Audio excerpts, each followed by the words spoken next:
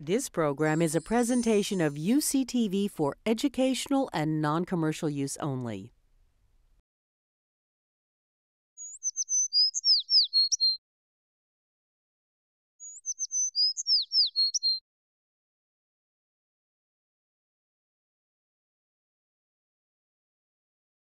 So there's not a lot of research that's been done on black widow spiders, which is surprising because if you say the word black widow spider, everybody knows what you're talking about.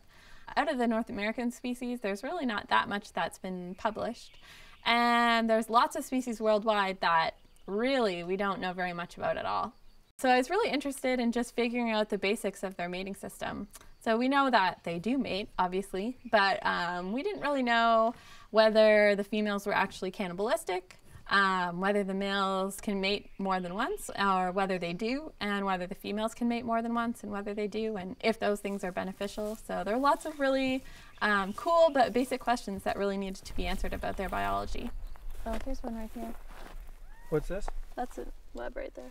So that's not How do you see that? Yeah, so you spend like a hundred hours looking for looking for webs, and then you develop an eye for them. Uh, so we're looking in kind of grassy fields, and they make their homes a lot of the time in gopher holes um, in order to stay cooler and to probably keep the eggs cooler over the really hot summer. So every day we come along and we check uh, twice a week to see um, if there's any new egg sacs in a web. So this one right here has an egg sac, and so this is what we would be looking for. It's interesting when you come across the spiders in the field when they have an egg sac, often they have um, their arms sort of draped across it, uh, kind of protectively. Even if we can get that leg to move. Oh. There. Yeah, See? here she comes.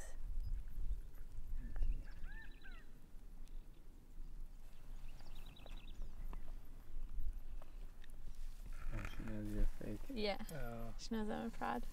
One thing that's really awesome about black widow spiders is their webs. They're so crazy and chaotic looking, but they're actually a really cool reflection of the spider's life. In the lab, I monitor the spiders that I'm using for my TROS experiment.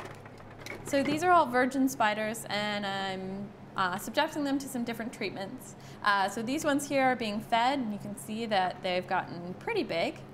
They'll get a little bit bigger by the end of the study for sure. Um, and these ones are starving, and uh, their abdomens are starting to get pretty small. Uh, they can survive for quite a while without food, so it's not particularly cruel. Um, they'll just get small enough so that it changes the way, hopefully, that they build their webs. Um, so the big ones will have lots of res resources to put into their webs, and the smaller, starving ones uh, won't have those same resources, so their webs will be fairly thin. And we'll see whether that makes a difference as to uh, what males will be attracted to. So the research that I'm doing is actually pretty unique. Uh, there hasn't been a lot of information published about this species at all. And uh, well, I'm just um, interested in adding to our knowledge not only about black widows, but also um, to our sort of general knowledge about how mating systems work and how mate choice works and how mate choice can change and shift depending on the population demographics and the distribution of mates within the environment.